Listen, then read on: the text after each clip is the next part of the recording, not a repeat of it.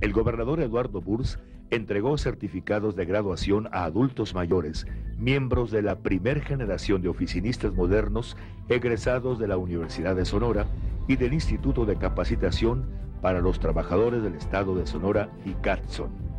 El curso, dirigido a 485 adultos mayores, incluyó capacitación en manejo de Internet y computadora y se inscribe dentro de los programas de la Junta de Participación Social Sonorense, Pasos, que encabeza Guatimoc Berry, y de la Asociación Abuelos Trabajando por Sonora, que preside Virgilio Arteaga. La verdad es que son un ejemplo,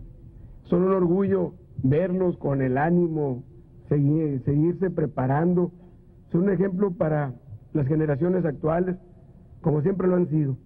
y tengan la seguridad de que de nuestra parte, de la parte del gobierno del Estado, vamos a hacer nuestro mejor esfuerzo para estar a la altura del ejemplo que ustedes nos han dado. A nombre de los graduados en este curso de Internet y manejo de computadoras, Álvaro Ortega Méndez dijo que con esta participación demuestran a la sociedad en general que tienen la capacidad y la determinación para aprender cosas nuevas. Durante este tiempo de estudio muchas situaciones interesantes, pero consideramos que la principal fue la de demostrar a nuestras familias, a la sociedad, a las autoridades